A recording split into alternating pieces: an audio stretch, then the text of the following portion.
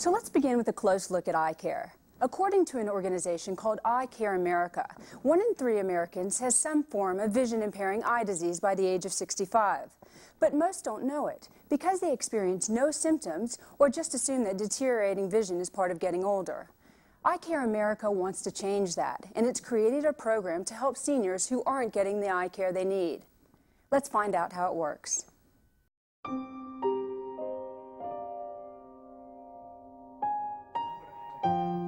What if your view of the world were becoming increasingly blurred or dim? What if you had no way of knowing if your eye condition were treatable, reversible, or ultimately leading you to blindness? For many seniors who have limited resources or poor access to regular health care, this situation is all too real and all too frightening.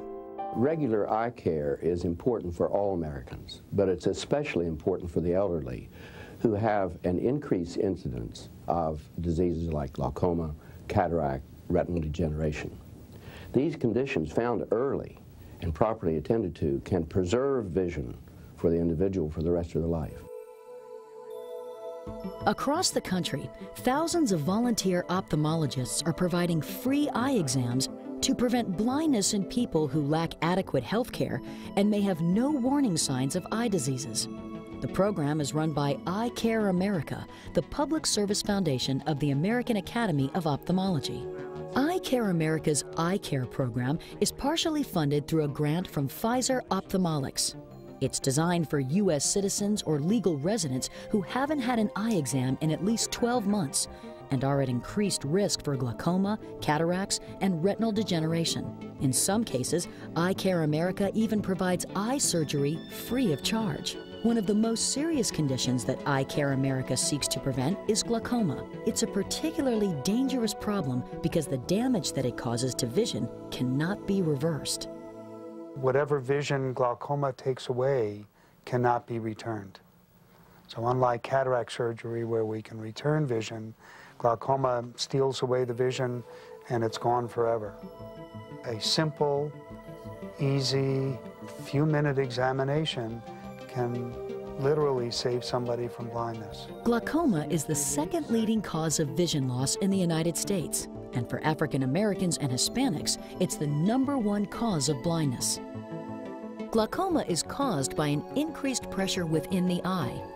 Pressure in the eye builds up and damages the optic nerve and nerve fibers of the retina, leading to glaucoma. I realize the danger of losing my eyesight, which is the most precious thing you can have, and it's the most valuable thing you can lose.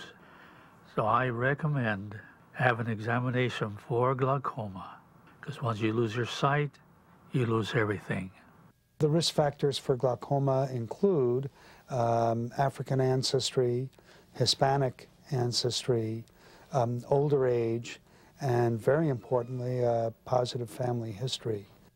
Uh, persons that have glaucoma will initially have a slow loss of peripheral or side vision. They may not be aware of this uh, loss of vision initially, but as the condition progresses, it can encompass all areas of their vision and they can go blind and lose all of their vision.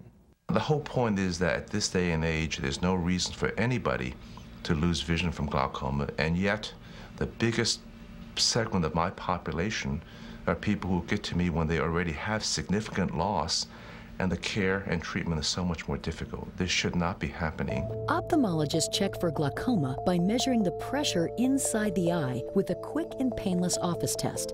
If they find signs of the condition, they can recommend a range of treatments depending on its severity. We start with uh, eye drops, and the vast majority of uh, people with glaucoma uh, can be successfully treated with um, eye drops. Uh, we also have laser treatments, and finally, um, if those don't work, then we do have surgical approaches that we can use. My mother has glaucoma. My mother also has diabetes. And um, my mother is practically blind. So when I was diagnosed with glaucoma, I think I panicked for probably the first month or so before I found out that things could be done to either help or correct the problem. The things I learned about glaucoma was one, it was treatable, and two, that you know you could live with it. You were not necessarily going to go blind, which I think I might have if I had not been treated, you know, immediately with it.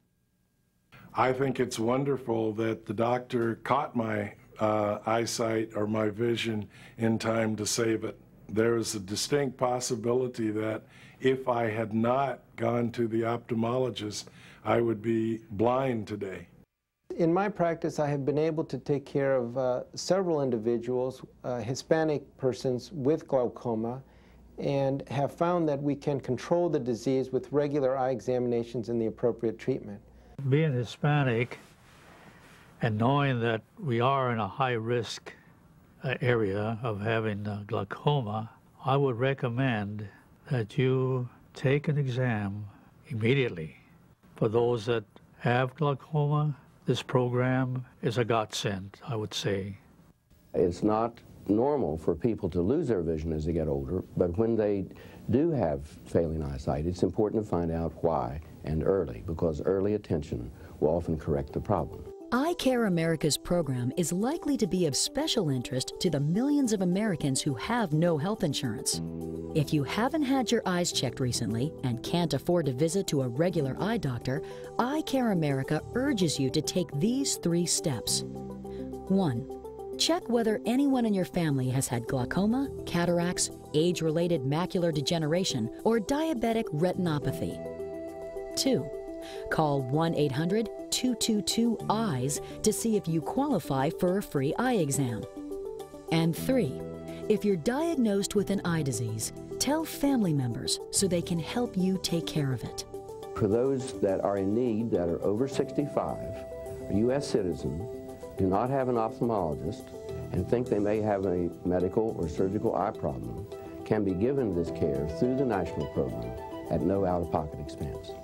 I think the eye care uh, program is excellent because a lot of people are not aware of you know what's causing their vision to deteriorate and if they didn't have uh, an organization like this they would probably end up going blind. Here to tell us more about Eye Care America's program for needy seniors is Dr. James Heltzer of Champlain Ophthalmology in Bethesda, Maryland. Dr. Heltzer is the president of the Washington Metropolitan Ophthalmologic Society. He obtained his medical degree from the University of Maryland School of Medicine. Welcome to the Daily Apple. Thank you. Tell me, Eye Care America's program for seniors, how does it work? Uh, the Eye Care America program is a service program that was started in 1985 by the American Academy of Ophthalmology. The primary mission of the program is to preserve vision. So we have 7,500 ophthalmologists around the country uh, who are available to see seniors, to see kids, and to see other patients with glaucoma and diabetes. When you think about seniors themselves, what are some of the eye conditions that you actually treat there? Uh, glaucoma and diabetes are two of the major ones, but also macular degeneration and cataracts. Do seniors have to come to Eye Care America more than once, or can they just come once and get their testing done? Uh, the, uh, the program involves an initial diagnosis, but then there is a, a full year of care uh, that is also pro provided associated with the program, where all of the treatment that's necessary is provided as part of the program. I see. Who actually pays for it? Uh, well, if, if, patients do have insurance, uh, the ophthalmologists that are involved uh, take whatever re reimbursement comes from the insurance companies with no additional charge to patients. And if patients don't have, the, have any insurance, uh, the care is provided free of cost. As we get older, does our, do our eyes naturally deteriorate? Uh, there are some natural deterioration processes, but in general, uh, vision loss is, does not have to be a natural part of getting older. With cataract surgery and some of our newer technologies, elderly patients see wonderfully. No, but there is that 40 tipping point, right, where you start to lose your vision? Uh, there is a little bit of that, but with the appropriate correction uh, and even some of the newer technologies involved with cataract surgery and refractive surgery, uh, patients do very well in terms of even those presbyopic changes. Well, I tell you, I had LASIK surgery, and it was an absolute miracle. I, I was legally blind, if you will, and sat up, and as soon as I sat up, I could read the clock. It was uh, unbelievable. I've never experienced anything like that. I want to go through a number of the things you talked about. Macular degeneration, what is that? Macular degeneration is a disease uh, of, of, seniors, patients over the age of 65, uh, where they lose their central vision. It's uh, an age-related process, and uh, two of the things that seniors can do to prevent macular degeneration uh, are, are, to wear sunglasses to protect, protect from ultraviolet light and to take a multivitamin with antioxidants. Oh, very interesting. Cataracts, very common. Tell me about that. Cataracts, another disease of the aging population, also linked to ultraviolet light and ultraviolet light exposure. Uh, and there are wonderful surgeries now with fantastic new technologies uh, that not only make the surgery easy, but the vision recovery excellent. Fantastic. Let's cover very quickly diabetes and glaucoma.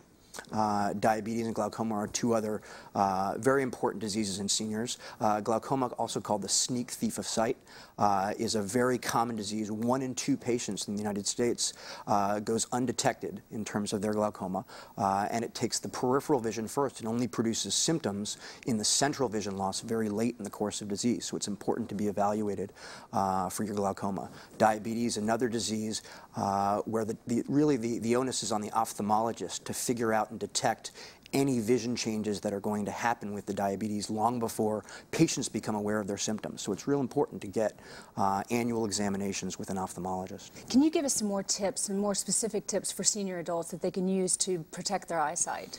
Uh, sunglasses and multivitamins are really the primary things that can, they can do. Uh, they also should be aware of any family history they may have uh, of eye diseases so that they can, can alert their doctors to important things to be screening for uh, in the course of their examinations. And finally, just a yearly exam. So, you know, there's old wives' tales about eating carrots and sitting too close to the TV, I assume. Uh, the carrots are good. The carotene, the beta carotenes in carrots can be very effective for the macular degener degeneration, uh, but probably sitting too close to the TV is, uh, is okay. And so reading in the dark, tell me about that. A lot of people say that if you read when you don't have enough light, and mature adults a lot of times will end up in a hotel, let's say, where there's not enough light. Should they bring their own um, light bulbs to get lighter probably not necessary to bring your own light bulbs, uh, but a good source of light certainly will make some of the near vision uh, issues that patients over the age of 40 face uh, a little bit more easy to deal with.